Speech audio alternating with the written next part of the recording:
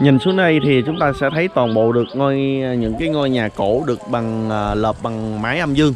Và nhà hai mái thì chúng ta có thể thấy được những cái vách đất à, họ làm rất là khéo léo và tỉ mỉ luôn. là đất phải là đất mềm này và dẻo. Sau đó là ừ, anh sẽ trộn với lại đá đá nhỏ ạ.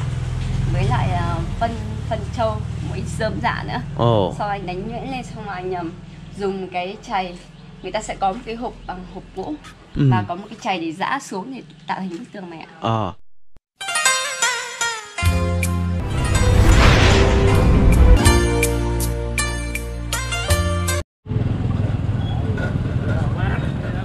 Xin chào cô bác quý anh chị thì hiện nay Bùi Hồ đang có mặt tại chợ của thị trấn Đồng Vân một trong những cái thị trấn mà cổ rất là lâu đời của tỉnh Hà Giang và người theo ờ, Bùi Hồ được biết thì ờ, người dân ở đây chủ yếu là người Ờ, Mông và người Tây.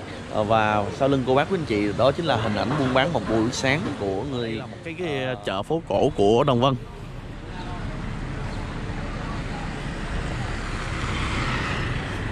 Không phải đến đây để khám phá du lịch mà Bùi Hồ chỉ muốn khám phá về một cái nét riêng của Đồng Văn thôi. Đây là phố cổ Đồng văn thì à, trên cái phố cổ này à, cô bác quý anh chị sẽ thấy được rằng à, nhà thì à, vẫn là bằng à, ngói âm dương. Họ đã bắt đầu à, tổ chức những cái à, homestay cho khách du lịch nghỉ dưỡng ở đây.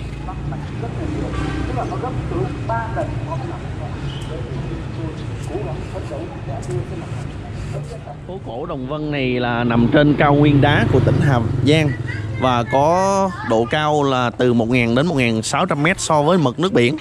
Một trong những cái phố cổ mà cao và đẹp nhất của tỉnh Hà Giang. Sáng nay thì à, trời mưa rất là nhiều và lượng nước lên ở thành phố Hà Giang, theo một số thông tin mà Bùi Hồ nắm được, thì à, hơn hơn nửa nửa thân người vì ở Đồng Văn thì à, mưa xước mướt từ 7 giờ sáng cho đến 10 giờ trưa. Và hiện nay thì à, nhìn cái mặt đường thì cô bác quý anh chị có thể thấy được. À, đây là một cái khu homestay và nhà này là nhà của người Mông. Thì cô bác quý anh chị có thể thấy được là cái vách tường đã được đắp đất á, được đắp đất lên rất là chắc chắn luôn. Ờ, không biết thời hạn sử dụng nó bao lâu nhưng mà mình cảm thấy là có những cái nơi nó đã bị khuyết lỗ nha. Có thể thấy bên kia là những cái dãy nhà san sát với nhau và trên cái con đường này đi của Bùi Hồ là một cái con đường mà người Mông họ uh, cho thuê nhà để mà uh, du khách có thể uh, nghỉ quá chân ở đây. Và đây là một cái cây đa rất là lớn luôn nè. Ôi cây đa gột cả một cái bóng mát. Khi đến đây thì hỏi về cây đa thì mọi người ai đều cũng biết cả. Ôi dòng xí dòng suối ở đây chảy xiết quá. Ở dưới kia mình có gặp được một một người ôi cây đá khổng lồ luôn. Bám vô ôm trọn cái, cái cục đá. Con suối ở đây. À, vì à, ngày à, buổi sáng có mưa nên suối đây chạy khá là xiết. Bây giờ mình có gặp một cô đó chạy à, bây giờ mình sẽ đi ra đó. Ta gọi là nương ngô. Vỏ bên đây là ruộng. Gặp một cái cô người mông. Đi đó đằng kia quải một cái chiếc gùi nhưng mà cô đi xa quá ôi sao liên hệ? Sao đi nhanh theo được? Rồi em gái ơi! Em, em gái! Cho anh hỏi đường cái nha!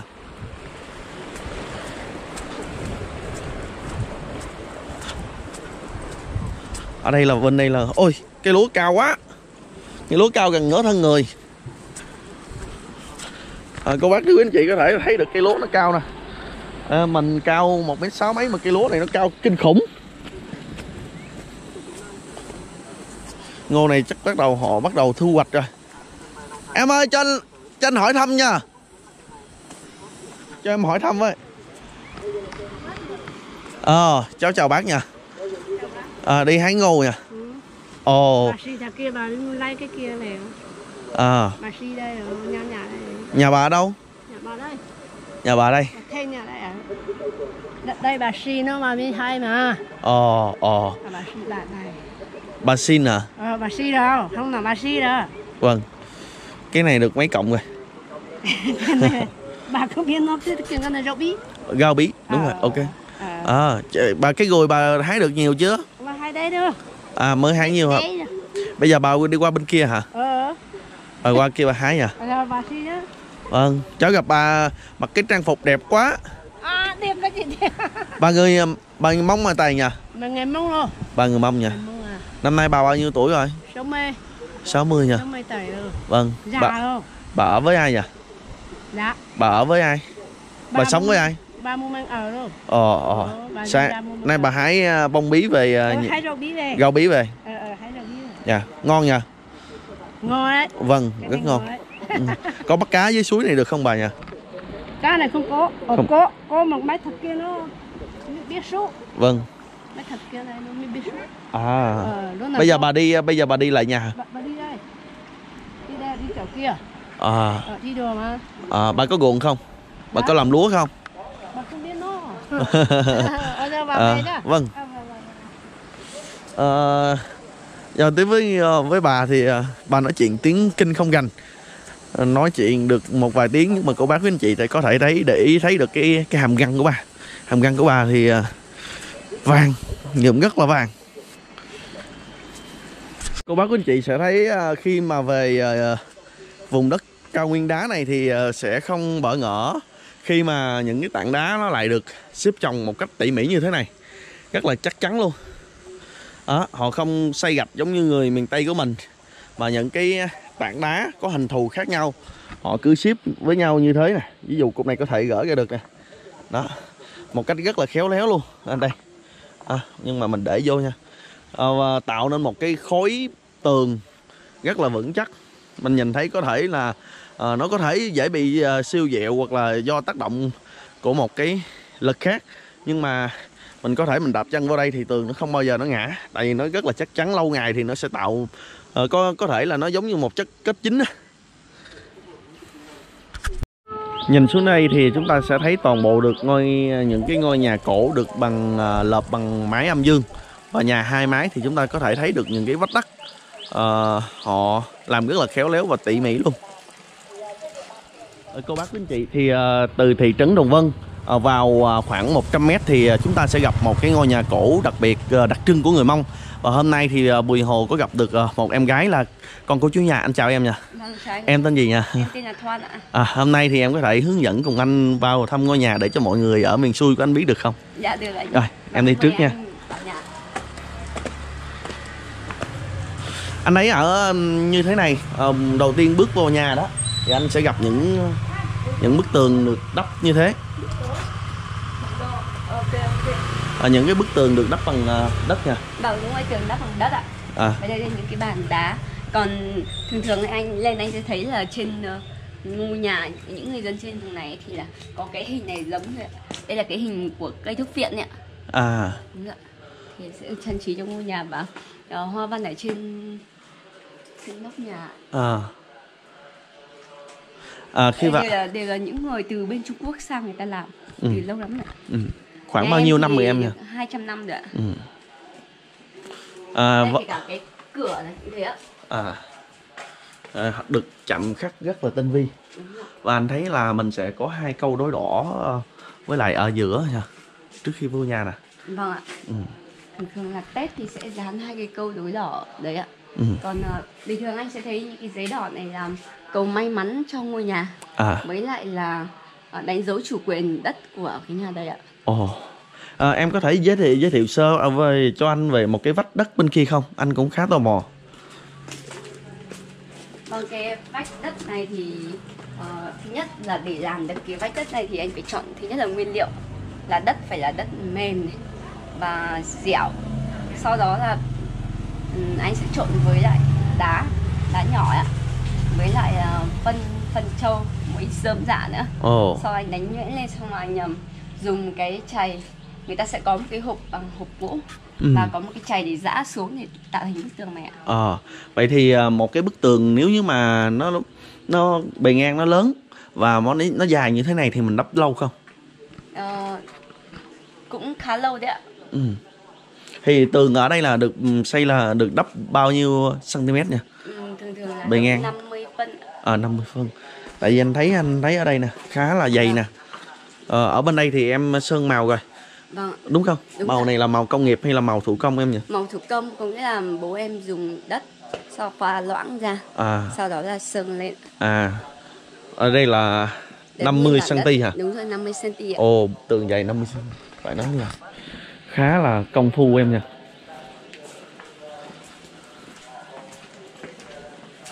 còn về kiến trúc ngôi nhà thì nó gần tương tự như nhà vua mèo ạ. Ừ. vâng. Ở nhà mình là nhà sàn. Ờ, vâng nhà sàn. Có hai tầng một tầng ở dưới này chủ yếu gian chính sẽ là là phòng khách. À đây là gian chính của nhà mình. Ờ, gian chính này sẽ là phòng khách còn lại là phòng ngủ và bếp. À. ở trên gác này cũng vậy ạ. Cái cái trang phục này sao em nhỉ? Dạ. Trang phục này đây là khăn ạ. Khăn ờ, có hai loại. Khăn một sẽ là loại ờ, dệt bằng tay ừ. một là loại dệt công nghiệp ạ. Nhưng trên này dệt bằng tay sẽ nhiều hơn. Ừ. còn bên đây là phòng ngủ. Đây, bên đây là phòng ngủ ạ. Cho anh vào tham quan với nha. À, mình đã có khách thuê chưa? Dạ, chiều thường thường là chiều khách mới đến ạ. Ờ. Còn bây giờ thì là ờ, trưa. Ạ. tối quá. Đây chưa ôi sáng quá. À, một cái à, phòng như thế này thế này là mình thuê bao nhiêu tiền em Ờ, nhà em tính theo đầu người nhá À. mỗi người là 100 ờ. À, tối thì anh nghĩ là mình không cần máy lạnh thôi nhà mình nó vẫn mát. Tại vì vách tường này là tường 50 và được đắp bằng đất. Ừ. đây là một cái hình thức là nhà ở cộng đồng. Đúng rồi còn à, bên này ngoài này sẽ là bếp à, đây là cái gì em nhỉ? Anh thấy đây nè. Cái kèn người mông ạ. À, kèn của người mông. Ừ. thường thường trên này ờ, biết thổi kèn thì ờ, sẽ rất thuận tiện cho anh. Ví dụ như là anh thích một cô gái nào đó Ừ. thì anh chỉ cần thổi bài kèn này thì cô gái sẽ ờ, Đi nè. cảm tình với anh À, à, à. gì đó. À, em em có biết thổi kèn này không? Ờ, thường thường là con trai học thổi kèn nhiều hơn con gái nhỉ. Còn con gái thì chủ yếu là múa với lại hát ạ. À.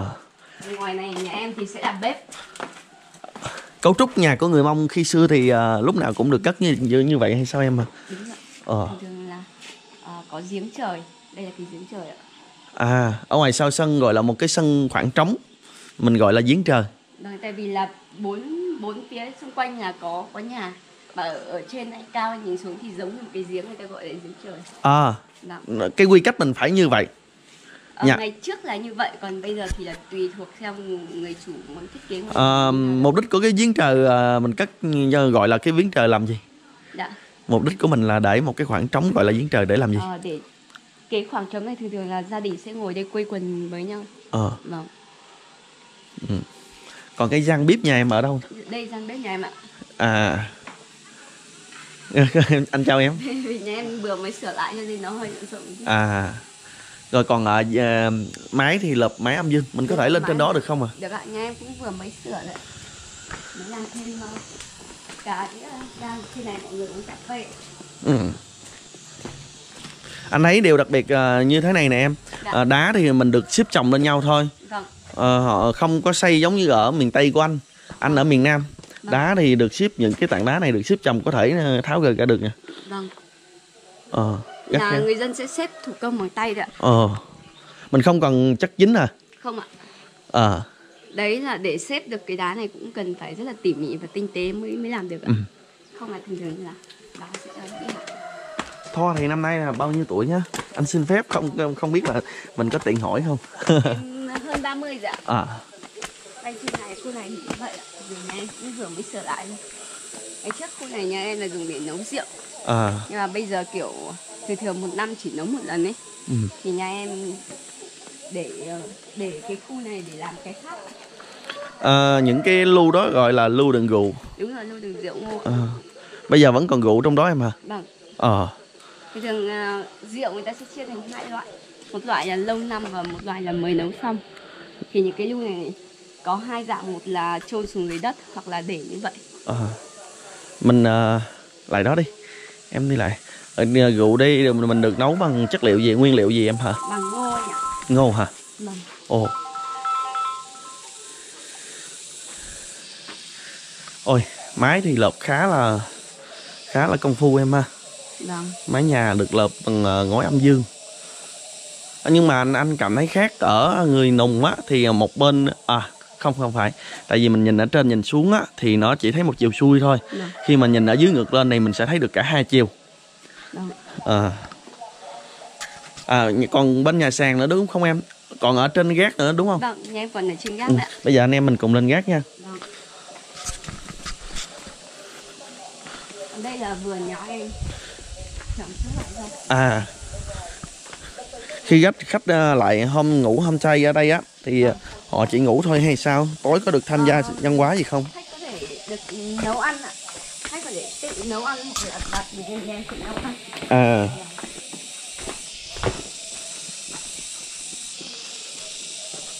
thì thường ngày ở trên cái phòng này sẽ là phòng cộng đồng. Để họ sinh hoạt. cái dãy nhà bên này sẽ là phòng riêng. À. Vâng. Thôi bây giờ anh em mình sẽ cùng lên trên kia đi. đây chị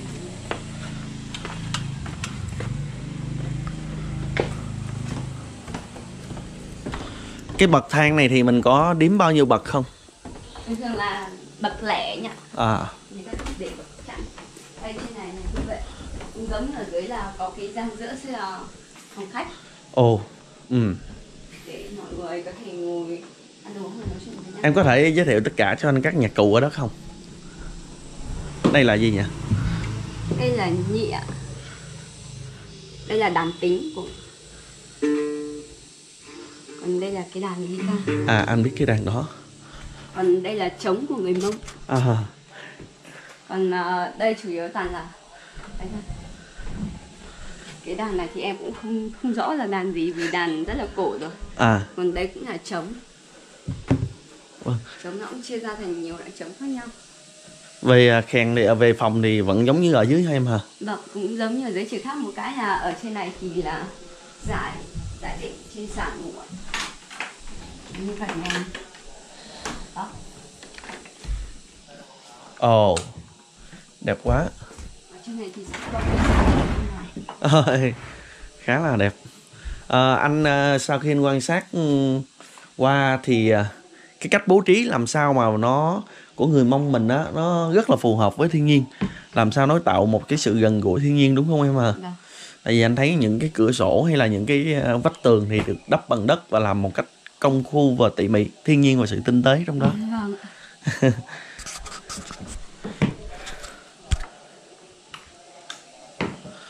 Ờ, tất cả đều mát thì tối mình không cần ngủ máy lạnh đâu em hả? Dạ không cần đâu nhỉ à, giờ ví dụ như vào mùa đông thì sao?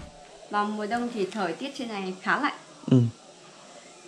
Ừm, có những lúc ờ, sẽ âm một độ đến 2 độ C cơ thì khách có thể đến đây có thể giữ giữ đủ ấm được không ở phòng mình tại vì nhà em sẽ có thêm cả chăn chăn ấm. Cho À. khách nghỉ. Còn mùa hè thì tương tự là cũng chẳng cần quạt. Cái món ăn đặc trưng của người mông mình là gì em nhỉ? Ở trên này là thắng cố ấy ừ. mèn mén và thắng cố. Thắng khố là giống như là lẩu của miền nam đúng không? Đúng rồi là nhưng mà đây khác một cái là lẩu thì nó làm bằng ờ, ờ, lòng ngựa. Ờ.